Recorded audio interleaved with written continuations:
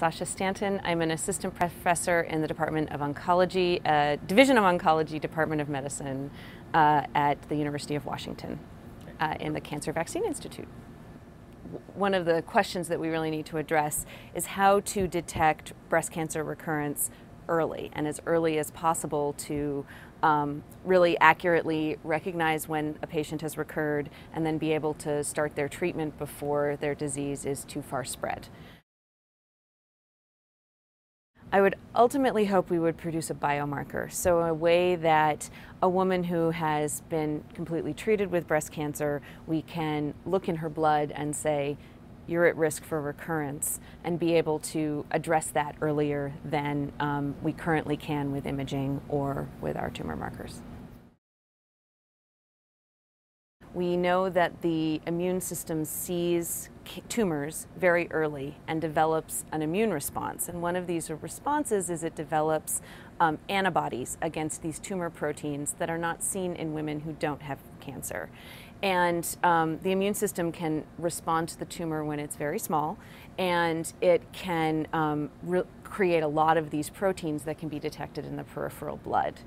Um, so we found um, that women with more advanced cancer, stage three and four cancer, could have um, autoantibodies against breast cancer stem cells detected in their blood, um, whereas women who, who had no, as compared to women who had no cancer, so recurrence is, is a huge problem and a huge concern for women. First of all, it's a great anxiety. There are, uh, all of my breast cancer patients, um, even diagnosed with the earliest of tumors, are, are, are live in, in anxiety that they're going to recur and how they can tell if they're going to recur.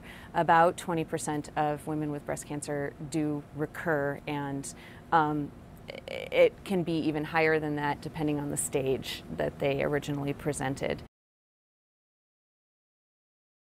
The reason that antibodies are, are exciting biomarkers is that, again, they respond to very small levels of protein and they can, um, they can increase, and they're very specific. So you can recognize these antibodies against specific proteins that we know are, are associated with breast cancer stem cells or breast cancer recurrence.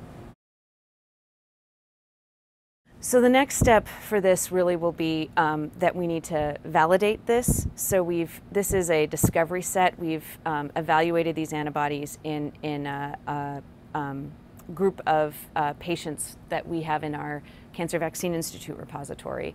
We would now need to get an independent sample set um, from the University of Washington or even from a collaborator institution outside of the University of Washington and, and show that we see the same results in, in a completely independent data set.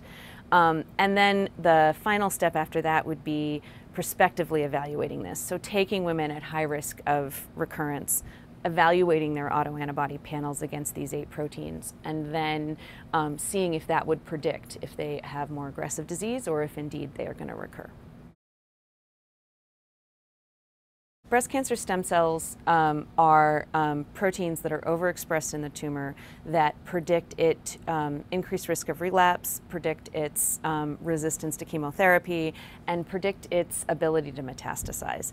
And so we are trying to find indicators of um, breast cancer stem cells to really identify these proteins that are these bad actors, these, these proteins that um, will predict more resistance and, and these proteins that remain after the vast majority of the tumor has been destroyed by chemotherapy, by all the treatments we give, um, and really allow the tumor to possibly recur or to metastasize.